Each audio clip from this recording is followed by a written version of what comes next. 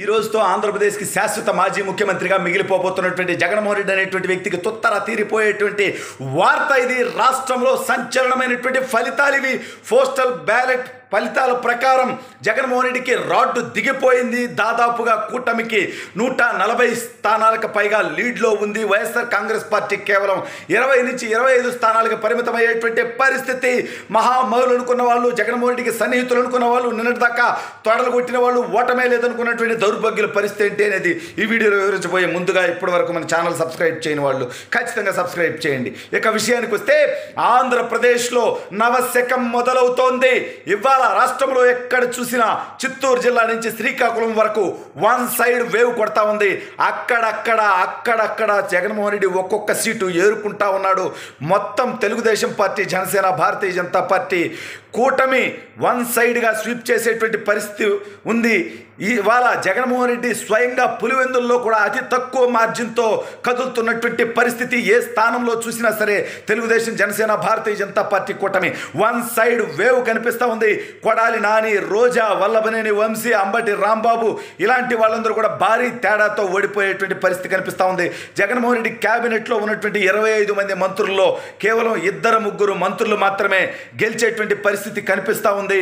ఎక్కడ చూసినా Telugu Desam party Janasena Bharatiya Janata party కూటమి అభ్యర్థులు నూట నలభైకి పైగా స్థానాల్లో పోస్టల్ బ్యాలెట్ ఏ ఉద్యోగులనైతే జగన్మోహన్ రెడ్డి సిపిఎస్ రద్దు చేస్తానంటూ మోసపు హామీ ఇచ్చి అధికారంలోకి వచ్చారో ఆ ఉద్యోగులు తుత్తర తీరుస్తా ఉన్నారు.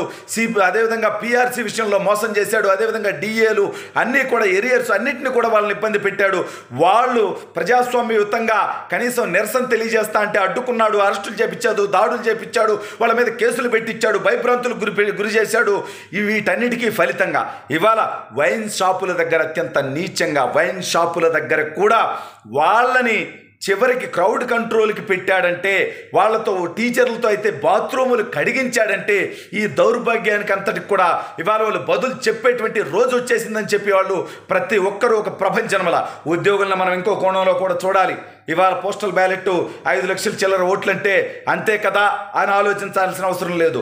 ఒక్కొక్క పోస్టల్ బ్యాలెట్ ఉద్యోగి కుటుంబంలో మరొక మూడు ఓట్లు ఉండేటువంటి అవకాశం ఉంది. అంటే దాదాపు ఇరవై లక్షలకు పైగా ఓట్లు మొత్తం అవుతాయి. వాళ్ళు ప్రభావితం చేసేటువంటి ఓట్లు మళ్ళీ మళ్ళీ ఒక నాలుగైదు ఓట్లు వాళ్ళు ప్రభావితం చేయగలగలరు అనుకుంటే దాదాపుగా యాభై లక్షలకు పైగా ఓట్లు పోస్టల్ బ్యాలెట్ వేసేటువంటి ప్రభుత్వ ఉద్యోగులు ఖచ్చితంగా ప్రభావితం చేయగలరు అనేటువంటిది అర్థం. పోస్టల్ బ్యాలెట్లో ఓటు లేకపోయినప్పటికీ ప్రభుత్వ ఉద్యోగులుగా ఉండి ఎన్నికల విధుల్లో ఎవరైతే లేరో వాళ్ళందరివి కూడా కలుపుకుంటే జగన్మోహన్ రెడ్డి పతనం చాలా ఘోరంగా ఉండబోతుంది అనేది వాళ్ళ తెలిసిపోతా ఉంది. ఏ ట్రెండ్స్ చూసినా సరే ఇవాళ ఒక హక్కుపక్షి సాక్షిని మరొక గంటన్నర తర్వాత ప్రతి ఒక్క రాష్ట్ర ప్రజలందరూ కూడా హక్కుపక్షి అబద్ధపు పక్షి జగన్మోహన్ రెడ్డి విషపుత్రిక సాక్షి అనేటువంటి పనికి మాలినటువంటి ఛానల్ని పెట్టుకొని వాడిచ్చేటువంటి ఫేక్ అప్డేట్లు చూస్తూ దయచేసి నవ్వుకోండి ఎంజాయ్ చేయండి. అరాచకవాది ఓటమిని సెలబ్రేట్ చేసుకోండి. రాష్ట్రంలో ఉన్నటువంటి ప్రతి ఒక్కరు కూడా శాంతియుతంగానే ఈ వైఎస్ఆర్సీపీ వాళ్ళ తొత్తర తీర్చండి. ఇవాళ ప్రజా తీర్పు ఎలా ఉంటుందనేది జగన్మోహన్ రెడ్డికి తెలుసు. YSR Congress party central office ఇవాళ బోసిపోయింది. ఒక్కడు కూడా దిక్కులేనటువంటి పరిస్థితి ఆ పార్టీ ఆఫీస్ దగ్గర. జగన్మోహన్ రెడ్డి ఇంటి మీద పడి కూడా ఇవాళ కొడతారేమో అనేటువంటి భయంతో పోలీసులు కాపుకొస్తున్నటువంటి పరిస్థితి కనిపిస్తూ ఉంది.